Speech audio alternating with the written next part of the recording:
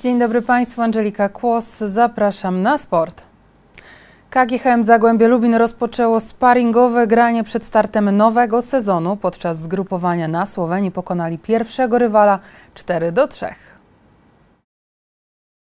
Pierwsza połowa to duża przewaga Zagłębia udokumentowana bramkami Pieńki i Kurminowskiego. W dalszej części gry trener Fornalik dał zagrać rezerwowym i obraz gry się zmienił, jednak udało się wygrać spotkanie. Zagraliśmy tym mocniejszym składem.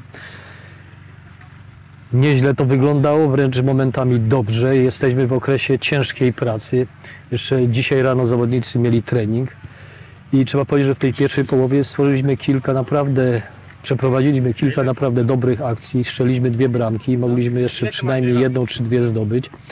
Drużyna z Podgoricy grała bardzo agresywnie, byli bardzo groźni przy stałych fragmentach gry, tak trzeba na to spojrzeć.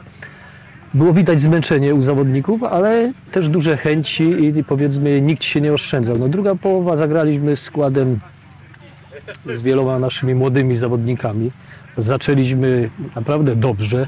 Można powiedzieć, że ta pierwsza godzina była w naszym wykonaniu naprawdę dobra. Później straciliśmy kontrolę nad meczem. Można powiedzieć, jeden, drugi błąd spowodował, że wkradła się nerwowość. Przeciwnik w konsekwencji wyrównał na 3-3 ale też plusem tej drugiej połowy jest to, że potrafiliśmy się jeszcze podnieść i zadać ten decydujący cios. Wygraliśmy 4-3, gdzie wszyscy zawodnicy dostali szansę gry. Podczas zgrupowania Miedziowi zagrałem jeszcze cztery sparingi. Sezon ruszy 20 lipca.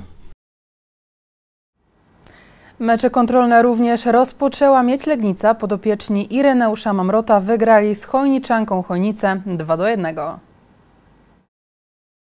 Pierwsza połowa była na bezbramkowy remis, a strzelanie zaczęło się w drugiej połowie. Zwycięstwo Legniczanom zapewnił Marcel Mansfeld swoim dubletem.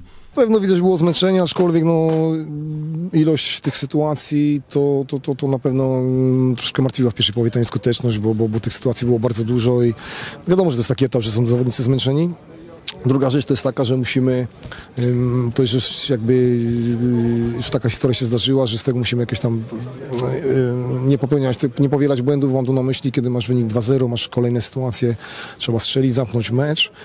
Wiem, że to jest tylko spanning, gra kontrolna, ten wynik troszeczkę e, oczywiście jest ważny, ale, ale to nie jest aż tak jak w lidze natomiast później z niczego gdzieś tam bramka, bo tak naprawdę nie zmusiliśmy przeciwnika przez mecz do sytuacji, padła bramka po dobrym uderzeniu z dystansu no i już troszeczkę zawsze z nerwowości pod koniec, także to taka, taka musimy z tego gdzieś tam, e, mówię, nauka wypłynąć. W środę mieć zagra kolejny mecz, a ich rywalem będzie mistrz Polski Jagiellonia Białystok. Chrobry Głogów rozpoczyna transferową ofensywę przed startem nowego sezonu. Do klubu po kilku latach wrócił Sebastian Bonecki. Chrobry zaczyna przygotowania o wzmocnienie środka pola, które ma zapewnić Sebastian Bonecki wracający do klubu. Zawsze nawet jak byłem w drużynie jakiejś przeciwnej i przyjeżdżałem do, do Głogowa, no to, to zawsze fajnie się tutaj wracało, dużo, dużo znajomych twarzy. I tak samo jest teraz, gdzie po 8 latach chyba wracam i, i w sumie tak naprawdę w klubie wszyscy są. Y, Damian Sędziak jest, z którym grałem, jest teraz kierownikiem.